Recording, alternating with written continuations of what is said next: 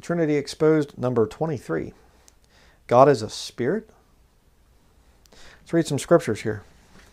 John chapter 4, verse 21. Jesus saith unto her, Woman, believe me, the hour cometh when ye shall neither in this mountain nor yet at Jerusalem worship the Father. Ye worship ye know not what.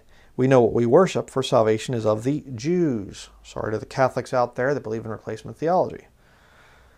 But the hour cometh, and now is, when the true worshippers shall worship the Father in spirit and in truth, for the Father seeketh such to worship him.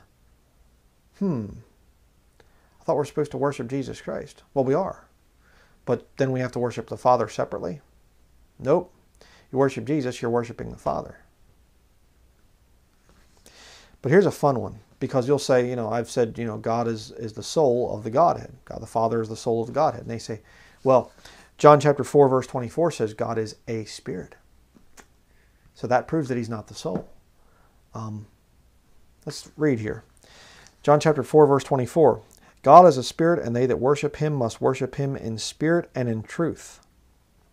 The woman saith unto him, I know that Messiah cometh, which is called Christ. When he is come, he will tell us all things. Jesus saith unto her, I that speak unto thee am he. Saying about the Messiah. But let's think about this for a minute. God is a spirit. All right. Um, would that be true for those of us that believe the biblical Godhead? Well, yeah, because you see, God consists of three parts body, soul, spirit. So you can say God is a singular spirit. He's got one spirit. But now, if you believe the Trinity, satanic lie, God has to be three different spirits because Jesus is God the Son, according to the Trinitarians. So he has to have a spirit. God the Father is, you know, there and he has to have his own spirit. And the Holy Ghost has his own spirit, whatever that is. I have no idea. The Holy Spirit has his own spirit. Okay, that's a little odd. So God can't be a spirit.